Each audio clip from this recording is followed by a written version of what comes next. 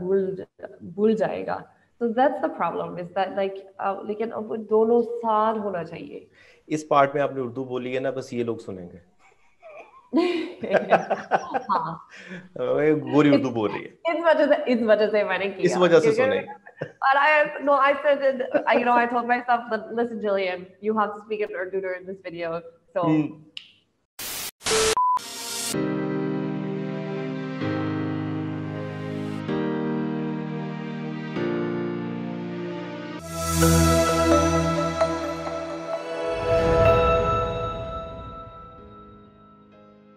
Thank you so much for being here and what we what we are calling this thing. It is speak what? Artistically speaking. Artistically speaking. Artistically. Artistically speaking okay. so first thing first. Aesthetic. The idea yes, is the idea is i think what i think personally is creating logo or register yourself under some, some kind of legal entity, it, it is beneficial, but in a legal sense. Wow. So basically, I think that no, it's it's it's like in the way that you approach your own marketing, right? It's like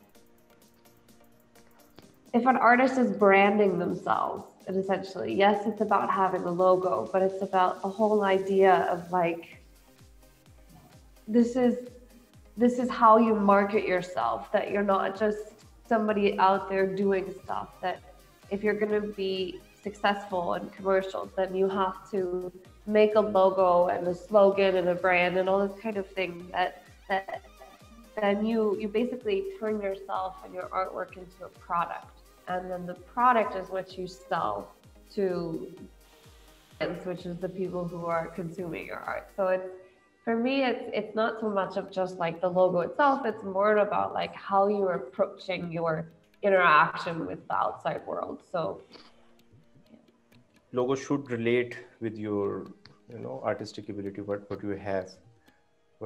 If you are a performer yeah. your logo should be a dancing doll or something like that no yeah mine is the it, huh, mine is the the, the, like the same as it, it's yeah. kind of cliche as well i think so artist is not not a company in, in your way, or it should be a company.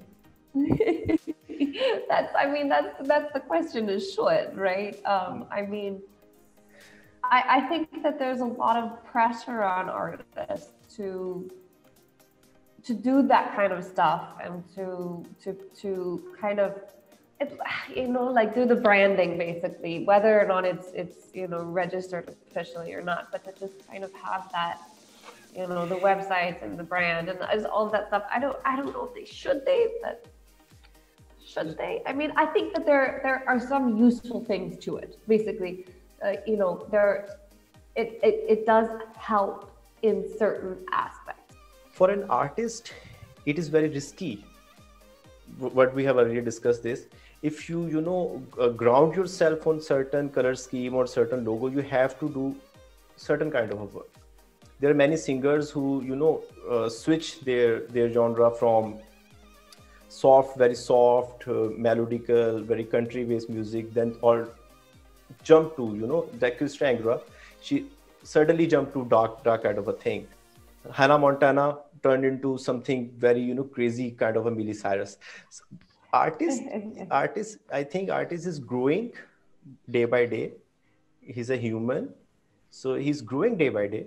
So with the passage of time he learned new things. He want to experience new things. So bounding an artist in, into a logo it is it is quite risky and quite scary for an artist as well. Yeah i mean i just i think that it's very um you know whether or not you're you're officially registered or legally registered or whatever this idea that you have to make yourself into a brand and it's all about selling and product and all this kind of thing i think it's really easy to forget the fact that as an artist you are always learning you're always growing you're always developing your own style and learning more about your own style.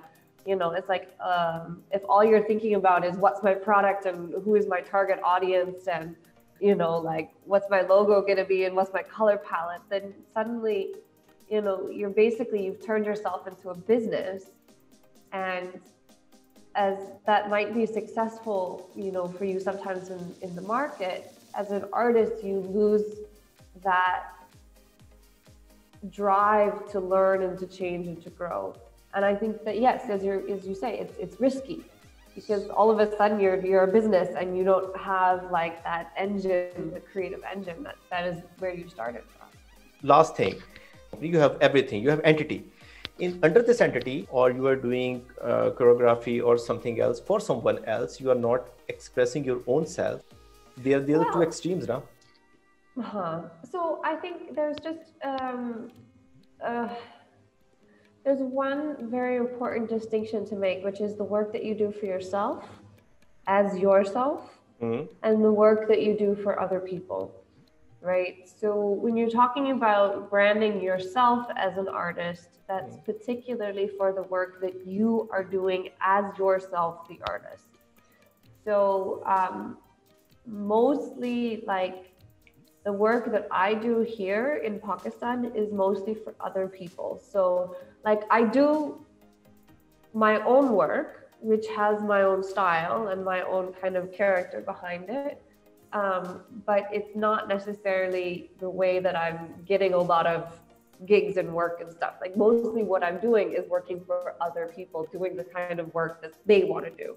Um, and so the the me as the brand is not necessarily like functioning, but also like definitely what happens a lot in Pakistan is the word of mouth, right? So somebody hears about you from somebody, and then they, you know, they connect you, and it goes it it goes like this basically. um, because a, I think it's it's a loop, it's a web at the same time. No? It's a loop yeah, and a web at the same time.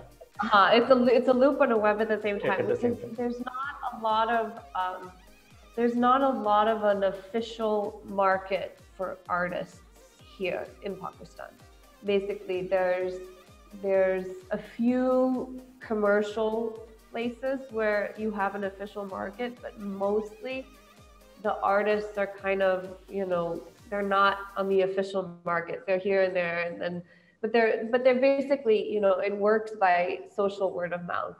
So it's a little it's a little different. Like you don't see so much here um, artists kind of doing that you know social media branded marketing that that you kind of see in like um, in other countries basically. Most recently what we you know uh, adopt is stand up comedy so okay. somehow we in Pakistan we are there. There are many good guys who are, who are doing this in Karachi, but not in Lahore specifically. i have I've never seen someone in Lahore, but in Karachi there are many people who are doing stand up, and they they somehow they are managed to earn the respect and the money at the same time. Um, thank you so much, Gillian, for your time, and I hope to see you sometime else or maybe next week, inshallah. Uh, next weekish, probably. But yes. Thank you so much, Gillian. Take okay. care. Bye bye. Oh, bye bye.